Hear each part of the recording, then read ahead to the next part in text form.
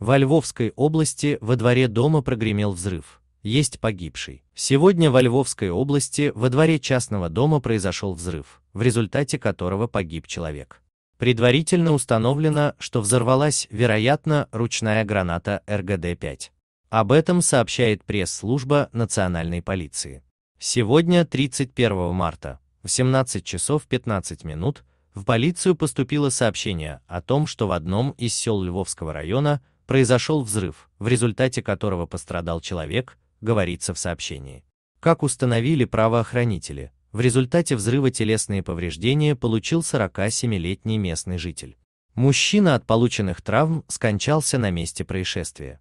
По данному факту следователи открыли уголовное производство по Ч1СТ 115 умышленное убийство с пометкой самоубийство и Ч1СТ 263 незаконное обращение с оружием, боевой припасами или взрывчатыми веществами Уголовного кодекса Украины.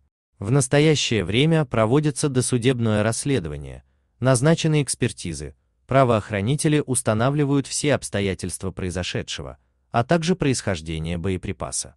Напомним, ранее в Киеве в одной из квартир Деснянского района произошел взрыв. В результате мужчина получил ранение. Кроме того, под Киевом в результате взрыва погиб один человек. По данным следствия, погибший пытался взорвать свою знакомую, однако взрывчатка детонировала у него в руках.